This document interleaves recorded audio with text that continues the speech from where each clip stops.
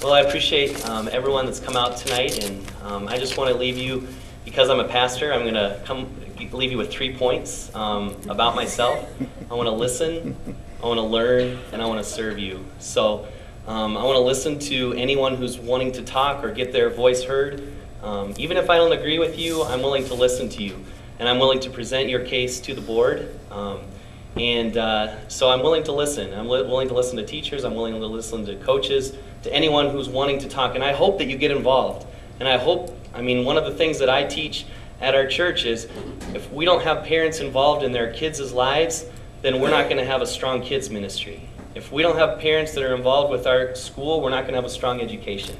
So I want parents to be involved. I want parents to talk to me, um, to learn.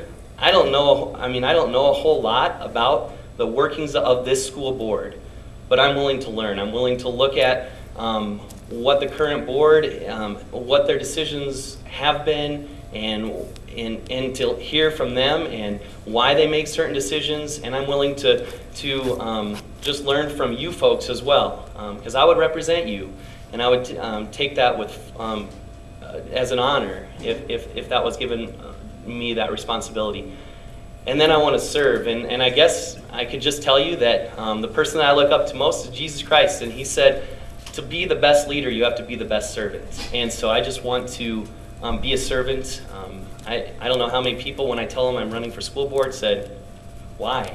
Or, boy, that's, um, that's silly, or you must be not right in the head type of things.